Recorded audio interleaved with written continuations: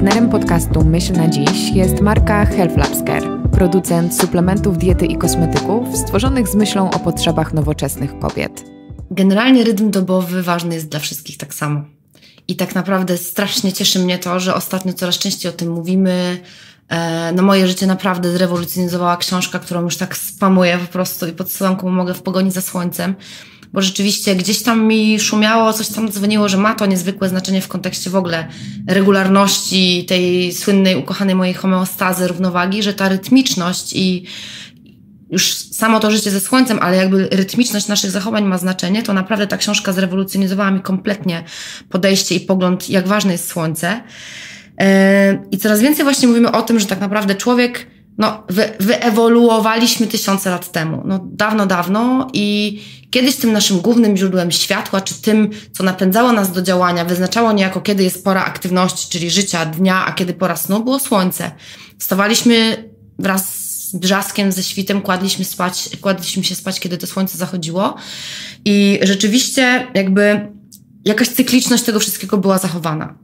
I teraz wiadomo, i coraz więcej badań jest podejmowanych w kontekście tego, jak to się dzieje, że w ogóle my odczuwamy jakieś tam zmęczenie, chęć snu yy, i tą cykliczność tego, kiedy, kiedy powinniśmy wstać, kiedy się położyć. I już jak pewnie wszyscy słyszeli, powtarzam to któryś raz, to słynne jądro nadskrzyżowaniowe między naszymi oczami, które się znajduje. Teraz ta struktura mózgu, która po prostu działa jak taki sensor, odbiera promienie słoneczne przekazuje je y, naszej siatkówce i ostatecznie w szyszynce, czyli w takiej strukturze mózgu wyprodukowana jest melatonina. I to właśnie ta melatonina, czyli ilość jej wyprodukowana w ciągu dnia, mówi nam niejako o tym naszym czuwaniu, wstawaniu, poczuciu zmęczenia. Drugim takim elementem, który związany jest właśnie z tym rytmem dobowym, jest miernik, tak, tak naprawdę ja mówię, że to jest taki barometr zmęczenia, czyli ilość wytwarzanej przez nasz organizm adenozyny to jest taka substancja, która wytwarza się tak naprawdę, możemy sobie wyobrazić tak, yy, wiesz, yy, na chłopski rozum, że im dłużej jakby żyjemy w ciągu dnia, im więcej czynności wykonujemy, męczymy się, działamy, no wytwarzamy energię, tej adenozyny robi się coraz więcej. Y, co jest bardzo ciekawe w ogóle w kontekście, jak działa kawa, o czym pewnie mhm. później powiem. Natomiast to są takie elementy, które rzeczywiście e, jakby w jakiś stopniu nastrajają nas w kontekście działania, wstawania i funkcjonowania w ciągu 24 godzin, czyli słońce i wytwarzanie melatoniny i to poczucie zmęczenia, czyli wytwarzanie adenozyny przez, e, przez e, nasze komórki. Mm, I teraz to co ciekawe, w ogóle skąd my wiemy, że jest ten rytm dobowy, te 24 godziny. Y, nie wiem, czy wiesz, ja niedawno się w zasadzie, znaczy wiedziałam o doświadczeniu, które było dla mnie super ciekawe i kiedyś pamiętam, jak mieszkałam w Hiszpanii, to chciałam je ponowić, ale po obejrzeniu filmu Dark zrezygnowałam. Otóż było to doświadczenie w jaskini, przeprowadzone, to chyba był 30 30, początek, końcówka lat 30., y, coś na, na przełomie 30. a 40. ubiegłego wieku. Dwóch y, naukowców postanowiło na 32 dni zamknąć się do jaskini i sprawdzić, jak tak naprawdę my jesteśmy w stanie e, funkcjonować, no bo mówimy o rytmie okołodobowym, ale jak my jesteśmy w stanie funkcjonować bez słońca? Czyli naprawdę jak ta melatonina będzie wytwarzana, skoro Aha, to ona tak naprawdę jaskini i nie wychodzi Dokładnie, przez 32 dni U. i nie mieć ze sobą żadnych elementów, które mogłyby wskazywać jakkolwiek nam, sugerować, nie wiem, zegarek, telewizor, CB radio, cokolwiek, co mogłoby wskazywać kontakt od rodziny. Jaka jest w ogóle pora dnia, cokolwiek, co się dzieje w przestrzeni. E, właśnie po to, żeby sprawdzić, czy rzeczywiście my jesteśmy tak bardzo zależni od słońca, bo już kiedyś zadawano sobie pytanie, ok, światło, melatonina, szyszynka, a co z ludźmi niewidomymi, mhm. którzy nie widzą, którzy tak naprawdę wiadomo, że mają ten rytm dobowy. Jest on nieco przesunięty, ale mają ten rytm dobowy. I co się okazało? Okazało się, że ci ludzie, tych dwóch badaczy, zamkniętych na te 32 dni, totalnie odcięci od, bo to było bardzo głęboko, gdzieś chyba w Kentucky, w jaskini, w wielkich czeluściach głębokich, gdzie nie było kompletnie dostępu do światła.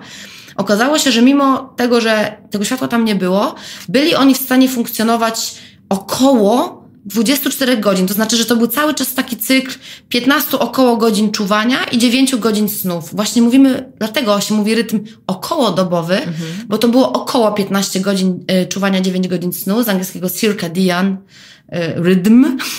Chodzi o to, że właśnie wiemy już, że mimo tego braku słońca, to może się dziać w naszym organizmie. Później wyszło na jaw również, że nasze organizmy tak naprawdę mają tak zwane Zeitgebery, Wydaje mi się, że Zeitgeber to z niemieckiego, tak. Słowo, które jakby oprócz tego, że mamy to światło i ten dostęp y, do, nasza siatkówka odbiera sygnał, widzimy, że jest jasno, ta melatonina wtedy nam opada, y, szczególnie poziom melatoniny właśnie spada, kiedy się budzimy około 7, 9, o 6 załóżmy budzimy się, to ten poziom melatoniny zaczyna spadać i my jakoś tam się nastrajamy.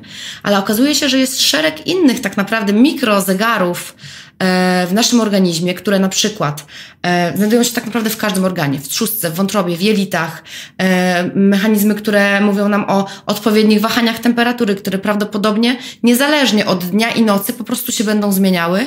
I tak naprawdę te wszystkie badania wykazały, że absolutnie jesteśmy zależni od różnych fluktuacji w naszym organizmie, czy to światła, czy w tych, które znajdują się wewnątrz naszych organów, co niestety po raz kolejny, tak jak mówiłam w przypadku no, chociażby właśnie tego stresu, jesteśmy zwierzętami, choćbyśmy nie wiem jak chcieli, mimo tego, że ssaki tak naprawdę, no, ewolucja tutaj zrobiła ogromny jakby przeskok w kontekście na przykład ptaków, to my tak naprawdę zależymy tak samo od tych wszystkich elementów, jak inne zwierzęta. No i właśnie dzisiaj już wiemy, że y, to, jak funkcjonuje nasz organizm, na przykład wszystkie zaburzenia, które, z którymi teraz się borykamy, czyli y, zaburzenia związane z tak często poruszaną przeze mnie otyłością, czy wszelkimi zespołami metabolicznymi, cukrzycą typu drugiego, może być niezwykle mocno powiązana z zaburzeniem rytmu dobowego. Nowa myśl na dziś czeka na Ciebie od wtorku do piątku o 7 rano.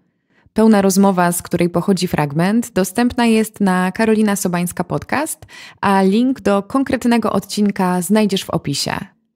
Obserwuj Myśl na Dziś i Karolina Sobańska Podcast na Spotify i iTunes, aby być na bieżąco.